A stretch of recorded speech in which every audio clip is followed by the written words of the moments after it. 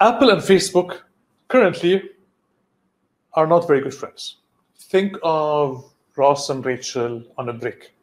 A lot of things going on there and a lot of backstories and so on. Um, a big portion of Facebook's revenue and Google and others is from advertising revenue, where advertisers spend money there to drive business results, whether it's uh, purchases uh, via app subscriptions or a brand building aspect via videos and awareness and so on.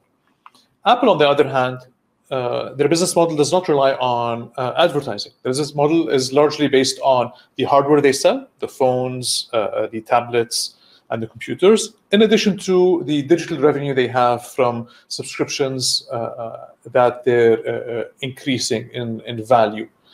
Um, so Apple's focusing a lot on the user privacy. They always have ever since Apple's inception. And one big move that they've done with a recent update to iOS is they are reducing the amount of information that others can track.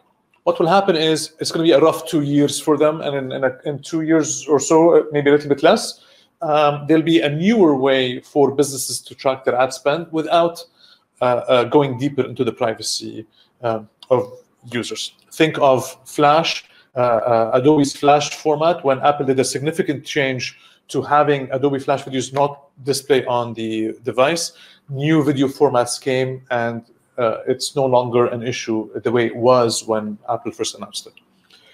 So the rivalry is there, and there's an ad campaign uh, that Apple is launching on this. We're going to take a look at the video. I'm going to walk you through what it looks like.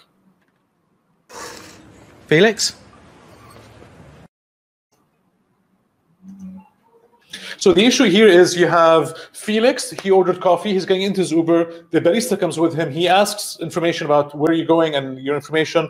Uh, the barista, the barista answers. You get to see here more and more people are gathering around Felix as he is going through through his day. He's at the bank with the bank statement. Felix has an eye. Somebody you don't know has has a copy of this. And as he proceeds, more and more are going through. Now he's in the store. He's others, other entities are looking at what is he looking at, what is he buying, what is placing in his cart, what is he removing. As he goes, more and more people are coming in, and now he's in his home. Felix sits down, goes to his phone, and he has the choice. Ask app not to track. When he does this, you can see poof, poof, poof, one at a time, it's gone. So it's a clear, significant message from Apple with regards to their stand on privacy, and they're trying to explain it in a very clear and straightforward way.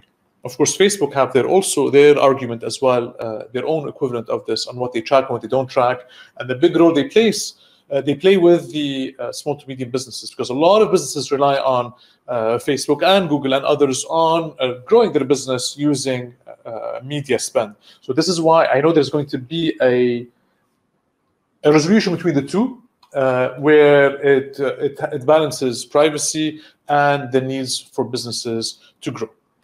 Moving on, we're going to talk about Amazon and MGM.